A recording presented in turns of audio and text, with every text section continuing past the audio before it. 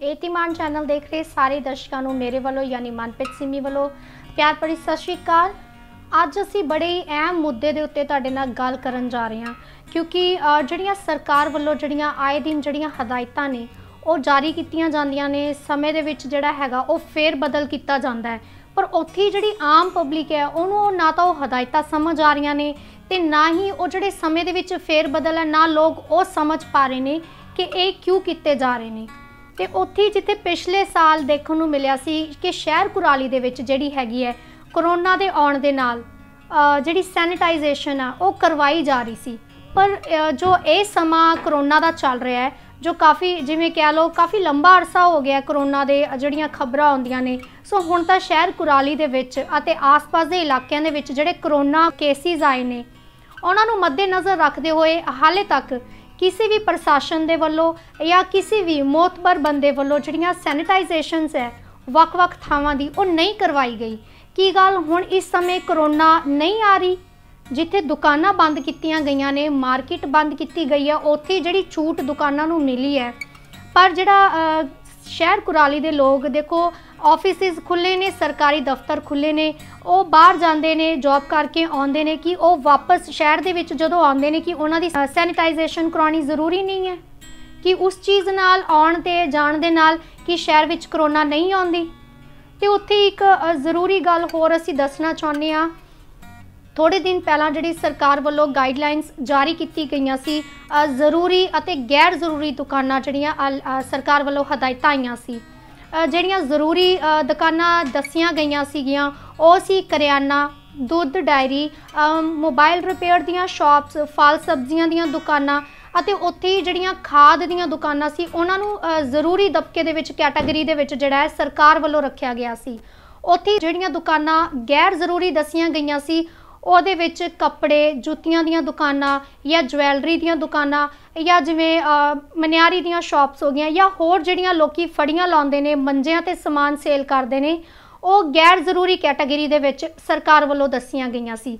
ਪਰ ਉੱਥੇ ਜਿਹੜਾ ਲੋਕ ਇਹ ਸਮਝ ਨਹੀਂ ਪਾ ਰਹੇ ਕਿਉਂਕਿ ਪੂਰਾ ਦਿਨ ਲੋਕ ਜੋ ਹੈ, ਇਹ 6 ਵਜੇ ਤੱਕ ਜਿਹੜਾ ਸਮਾਂ ਹੈ, ਲੋਕ ਆਉਂਦੇ ਜਾਂਦੇ ਨੇ, ਬਾਹਰ ਆਪਣੇ ਘਰਾਂ ਤੋਂ ਬੜੇ ਆਰਾਮ ਦੇ ਨਾਲ ਨਿਕਲਦੇ ਨੇ। ਸੋ ਕਿ ਉਸ ਸਮੇਂ ਉਹਨਾਂ ਨੂੰ ਕਰੋਨਾ ਦਾ ਡਰ ਨਹੀਂ ਰਹਿੰਦਾ? ਕਿ ਉਸ ਸਮੇਂ ਜਿਹੜੇ ਪ੍ਰੀਕਾਸ਼ਨ ਸਰਕਾਰ ਵੱਲੋਂ ਦੱਸੇ ਗਏ ਨੇ, ਉਹ ਜ਼ਰੂਰੀ ਨਹੀਂ ਬਣਦੇ? ਸੋ ਸਰਕਾਰ ਜਿਹੜੀਆਂ ਹਦਾਇਤਾਂ ਜਾਰੀ ਕਰ ਰਹੀ ਹੈ ਜਾਂ ਸਮੇਂ ਦੇ ਵਿੱਚ ਫੇਰ ਬਦਲ ਕਰ ਰਹੀ ਹੈ, ਜਿੱਥੇ ਸਰਕਾਰ ਕਨਫਿਊਜ਼ ਨਜ਼ਰ ਆ ਰਹੀ ਹੈ, ਉੱਥੇ ਹੀ ਆਮ ਜਿਹੜੀ ਪਬਲਿਕ ਹੈ, ਉਹਨੂੰ ਵੀ ਕਨਫਿਊਜ਼ਨ ਹੋ ਰਹੀ ਹੈ ਸਮੇਂ ਨੂੰ ਸਮਝਣ ਦੇ ਵਿੱਚ ਜਾਂ ਨਵੀਆਂ-ਨਵੀਆਂ ਹਦਾਇਤਾਂ ਤੇ ਸਮਿਆਂ ਨੂੰ ਸਮਝਣ ਦੇ ਵਿੱਚ। ਉੱਥੇ ਜਿਹੜੀ ਇੱਕ ਨਵੀਂ ਜਿਹੜੀ ਅਹਿਮ ਜਾਣਕਾਰੀ ਅਸੀਂ ਤੁਹਾਡੇ ਨਾਲ ਆਪਣੇ ਇਹ ਤਿਮਾਨ ਚੈਨਲ ਦੇ ਮਾਧਿਅਮ ਰਾਹੀਂ ਸਾਂਝੀ ਕਰਨ ਜਾ ਰਹੇ ਹਾਂ ਕਿ ਜਿਹੜੀ ਸਰਕਾਰ ਨੇ ਨਵਾਂ ਜਿਹੜਾ ਇੱਕ ਹੋਰ ਜਾਰੀ ਕੀਤਾ ਹੈ ਜਿਹੜੇ ਸ਼ਰਾਬ ਦੇ ਠੇਕੇ ਨੇ, ਉਹ ਵੀ ਖੋਲੇ ਜਾ ਰਹੇ ਨੇ। ਸੋ ਸਾਨੂੰ ਇਹ ਸਮਝ ਨਹੀਂ ਆ ਰਹੀ ਵੀ ਉਹ ਕਿਹੜੀ ਕੈਟਾਗਰੀ ਦੇ ਵਿੱਚ ਜਿਹੜੇ ਠੇਕੇ ਆਉਂਦੇ ਨੇ, ਉਹ ਰੱਖੇ ਜਾ ਰਹੇ ਨੇ। ਉਹ ਜ਼ਰੂਰੀ ਕੈਟਾਗਰੀ ਦੇ ਵਿੱਚ ਨੇ ਕਿ ਗੈਰ ਜ਼ਰੂਰੀ ਕੈਟਾਗਰੀ ਦੇ ਵਿੱਚ ਨੇ? ਕਿ ਉੱਥੇ ਕਰੋਨਾ ਨਹੀਂ ਆਏਗੀ। ਸੋ ਸਰਕਾਰਾਂ ਕਿਵੇਂ ਦੇ ਫੈਸਲੇ ਲੈਂਦੀਆਂ ਨੇ, ਕੋਈ ਸਮਝ ਨਹੀਂ ਪਾ ਰਿਹਾ। ਸੋ ਇੱਕ ਚੀਜ਼ ਜਿਹੜੀਆਂ ਜਦੋਂ ਆਮ ਪਬਲਿਕ ਜਦੋਂ ਵੋਟਾਂ ਪਾਉਂਦੀ ਹੈ, ਉਹਦੇ ਵਿੱਚ ਹਰ ਵਰਗ ਸ਼ਾਮਿਲ ਹੁੰਦਾ ਹੈ।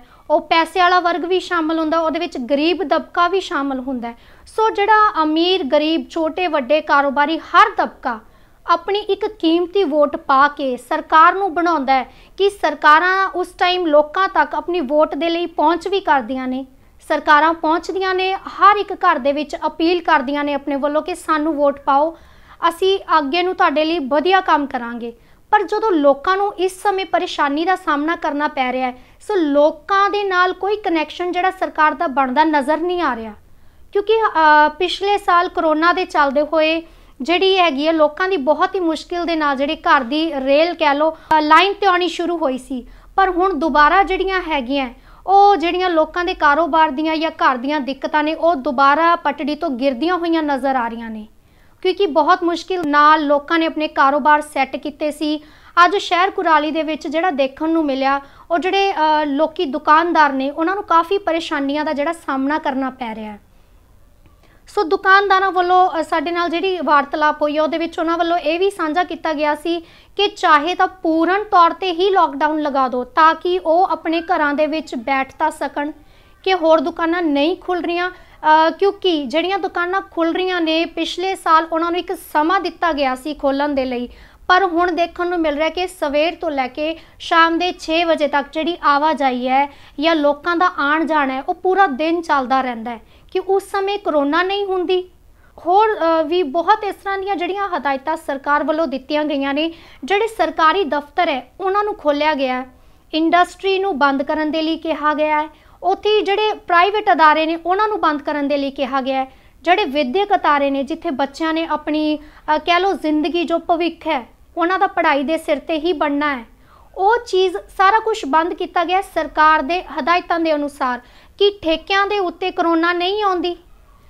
ਠੇਕੇ ਖੋਲਣ ਦੀ ਜਿਹੜੀ ਹੈਗੀ ਆ ਉਹ ਪਿਛਲੇ ਸਾਲ ਵੀ ਠੇਕਿਆਂ ਨੂੰ ਲੈ ਕੇ ਕਾਫੀ ਗਹਿਮਾ ਗਹਿਮੀ ਆ ਜਿਹੜੀ ਬਣੀ ਹੋਈ ਸੀ ਤੇ ਇਸ ਸਾਲ ਵੀ ਉਹੀ ਚੀਜ਼ ਜੋ ਸੇਮ ਇਹ ਦੁਕਾਨਾਂ ਖੋਲਣ ਦੀ ਅ, ਮਨਸ਼ਾ ਜਿਹੜੀ ਆ ਉਹ ਸਮਝ ਨਹੀਂ ਆ ਰਹੀ ਕਿ ਠੇਕੇ ਖੋਲਣ ਦੇ ਵਿੱਚ ਸਰਕਾਰ ਨੇ ਇਹ ਦੁਕਾਨਾਂ ਜਿਹੜੀਆਂ ਖੋਲੀਆਂ ਨੇ ਕਿ ਉਹ ਸਿਰਫ ਠੇਕੇ ਖੋਲਣ ਦੇ ਨਾਲ ਹੀ ਖੋਲੀਆਂ ਗਈਆਂ ਨੇ। ਸਰਕਾਰ ਕੀ ਕਹਿਣਾ ਚਾਹੁੰਦੀ ਆ ਜਾਂ ਕੀ ਕਰਨਾ ਚਾਹੁੰਦੀ ਆ, ਇਹ ਕੋਈ ਸਮਝ ਨਹੀਂ ਪਾ ਰਿਹਾ। ਅਸੀਂ ਆਪਣੇ ਚੈਨਲ ਦੇ ਮਾਧਿਅਮ ਰਾਹੀਂ ਨਵੀਆਂ ਪੁਰਾਣੀਆਂ ਹਰ ਖਬਰਾਂ ਤੁਹਾਡੇ ਨਾਲ ਜਿਹੜੀਆਂ ਸਰਕਾਰ ਵੱਲੋਂ ਹਦਾਇਤਾਂ ਹੁੰਦੀਆਂ ਨੇ, ਸਮਾਂ ਆਉਂਦਾ ਹੈ, ਉਹ ਸਾਰਾ ਅਸੀਂ ਤੁਹਾਡੇ ਨਾਲ ਸਾਂਝੇ ਕਰਦੇ ਰਹਾਂਗੇ। ਤੁਹਾਨੂੰ ਹਰ ਗੱਲ ਇੱਕ ਤੋਂ ਜਾਣੂ ਕਰਵਾਉਂਦੇ ਰਹਾਂਗੇ। ਅਗਰ ਤੁਹਾਨੂੰ ਸਾਡੀ ਵੀਡੀਓ ਜਾਂ ਸਾਡੀਆਂ ਜਿਹੜੀਆਂ ਜਾਣਕਾਰੀਆਂ ਤੁਹਾਨੂੰ ਅੱਛੀਆਂ ਲੱਗਦੀਆਂ ਨੇ, ਤਾਂ ਸਾਡੇ ਏ ਤਿਮਾਨ ਚੈਨਲ ਨੂੰ ਸਬਸਕ੍ਰਾਈਬ ਕਰੋ ਅਤੇ ਬੈਲ ਆਈਕਨ ਦਬਾਉਣਾ ਨਾ ਭੁੱਲਣਾ। ਇਸ ਵੀਡੀਓ ਨੂੰ ਜ਼ਰੂਰ ਸ਼ੇਅਰ ਕਰਨਾ ਲਾਈਕ ਕਰਨਾ ਤੇ ਆਪਣੇ ਕਮੈਂਟਸ ਦੇ ਮਾਧਿਅਮ ਰਾਹੀਂ ਸਾਨੂੰ ਜ਼ਰੂਰ ਦੱਸਣਾ ਕਿ ਤੁਹਾਨੂੰ ਕਿਸ ਤਰ੍ਹਾਂ ਦੀ ਲੱਗਦੀ ਹੈ ਸਾਡੀ ਵੀਡੀਓ ਦੇ ਵਿੱਚ ਦਿੱਤੀ ਹੋਈ ਜਾਣਕਾਰੀ। ਸੋ ਹੋਰ ਵਧੇਰੇ ਦਿਲਚਸਪ ਤੇ ਰੋਚਕ ਖਬਰਾਂ ਦੇਖਣ ਦੇ ਲਈ ਬਣੇ ਰਹੋ ਸਾਡੇ ਏ ਤਿਮਾਨ ਚੈਨਲ ਦੇ ਨਾਲ। ਤਦ ਤੱਕ ਦੇ ਲਈ ਮੈਨੂੰ ਦਿਓ ਇਜਾਜ਼ਤ, ਧੰਨਵਾਦ।